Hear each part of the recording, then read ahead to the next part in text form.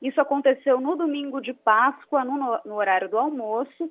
Um guindaste tombou e aí acabou derrubando uma estrutura metálica bem pesada que atingiu esse funcionário.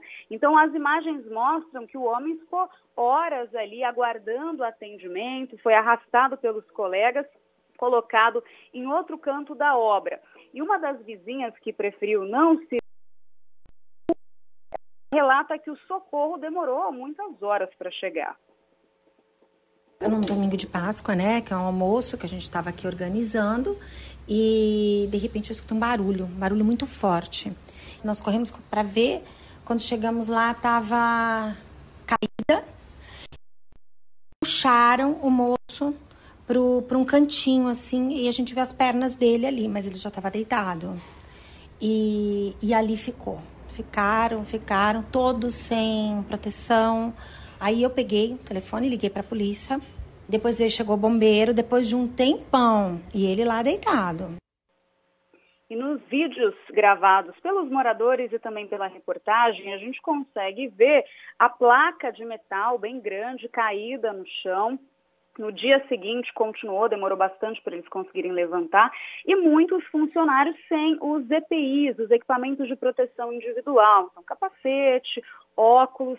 A gente entrou em contato com a construtora responsável por essa obra, que na verdade é uma loja é, onde eles vão vender unidades imobiliárias de um prédio que está sendo construído basicamente ali na frente. Então a construtora disse que lamenta o ocorrido, que assim que houve o acidente, o SAMU foi acionado, liberando os envolvidos em seguida, por não se tratar de nada grave.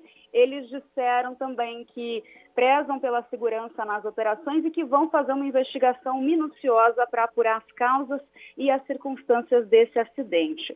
A gente entrou em contato também com o Instituto Brasileiro de Avaliações e Perícias de Engenharia de São Paulo, mandamos o vídeo para eles, eles analisaram e aí fizeram uma série de considerações em relação à segurança necessária em obras.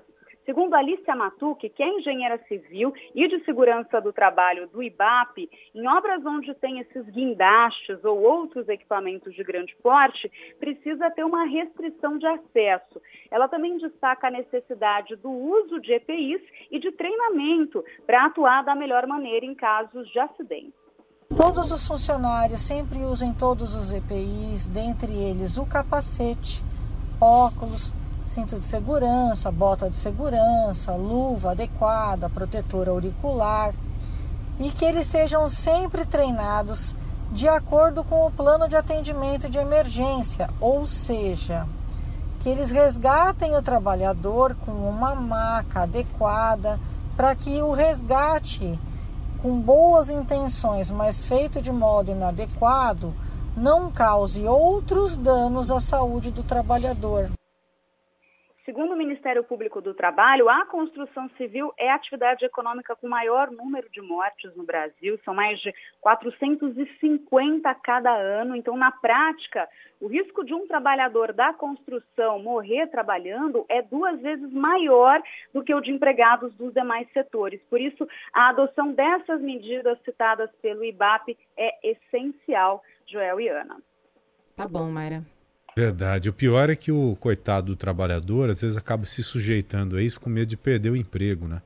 Só que nessa vida dele entra em risco imediatamente.